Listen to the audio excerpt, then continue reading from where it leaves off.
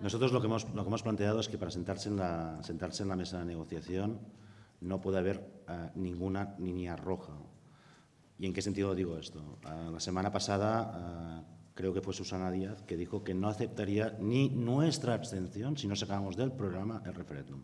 Eso entendemos que es una línea ya no roja, sino yo diría ya, bueno, es una autopista roja.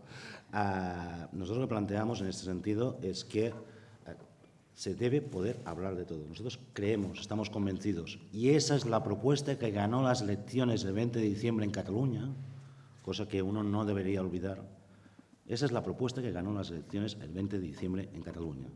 No la ganó la propuesta en Cataluña del PSOE. Eso uno no debería olvidar, por un mínimo uh, sentido de, cuando las propuestas uh, tienen mayorías o no.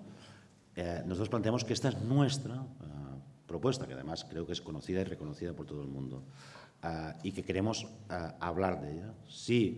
Eh, el PSOE cree que tiene una propuesta que puede convencer a la ciudadanía de Cataluña, que la plantea y lo hablamos, pero nosotros estamos convencidos de que podemos convencer al Partido Socialista de que esa propuesta es la propuesta factible, realizable. De hecho, es la propuesta que el PSC defendía hace dos años, no, no es tan lejana. Hay otras cosas en la mesa, uh, las cinco condiciones de la PA, la acción en, pago retroactiva, el tema del artículo 135, el tema de, uh, de, las reformas laborales. Hay todos otros temas que creemos que pueden generar dificultades. El tema de las puertas giratorias creemos que puede generar dificultades porque las están practicando.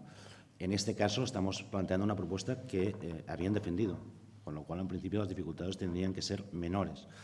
Uh, pero bueno, es que ahora mismo el escenario que estamos es el escenario que nosotros hemos hecho una propuesta y queremos poderla uh, hablar, negociar y dialogar para construir una alternativa para la ciudadanía uh, de este país. Y, no queremos líneas rojas antes de sentarnos en una mesa.